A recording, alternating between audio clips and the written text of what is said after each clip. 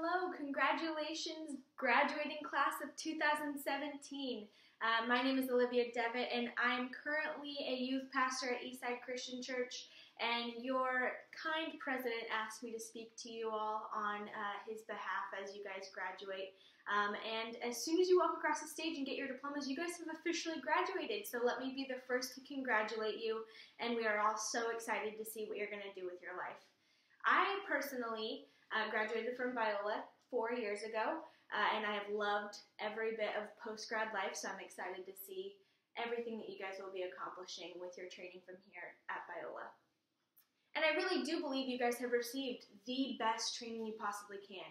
Uh, with Biola's standards of thinking biblically about everything, you have the unique opportunity to be a light in the darkness.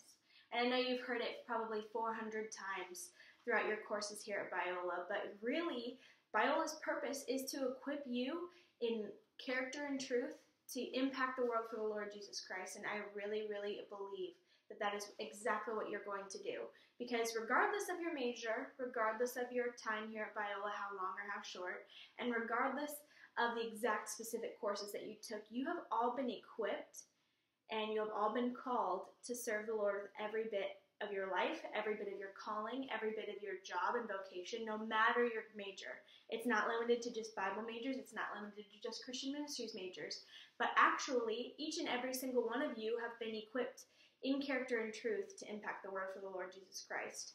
And I think sometimes we doubt that, but what I'm here to tell you today is I was once one of you sitting in those seats, and I was once questioning whether or not that I deserved to walk across that stage, if I deserved to enter into this new life um, with an abundance of free time. Yes, you will have that, thank the Lord. Um, but also a unique perspective because you have received an education that is far beyond or unlike any other because you actually have had to get your minor in biblical studies. And while that is far, that includes far more than just classes, that also includes you actually becoming more and more like Jesus. And I hope you've been paying attention because this is where you're actually put to the test. All those tests that you took uh, throughout your years at Biola, those are tests and those are important that helped you get to here. But now is where the real test comes. Do you believe and do you trust the Lord with your life?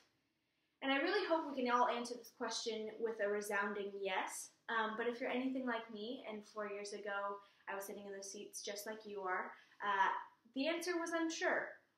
I do trust the Lord and I do believe that He has a good plan for every single one of our lives. But what does that mean?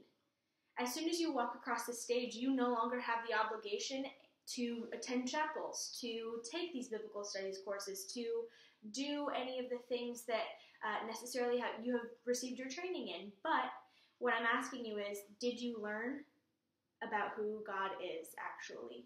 Did you actually take the knowledge that you are claiming to have gotten here at Biola, and are you going to use it for the Lord's name or not? And I think that's the question and the test that we all have to face as soon as as soon as we're done with our time here at Biola.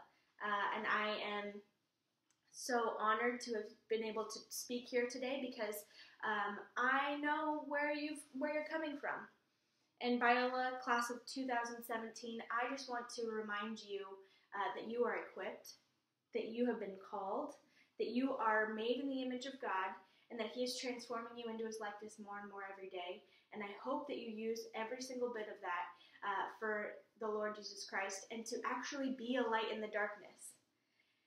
So, class of 2017, I would like to officially congratulate you. You did it. And now the real test begins. I hope you have an amazing time uh, with your post grad years, and I look forward to seeing some of you on the other side. And I pray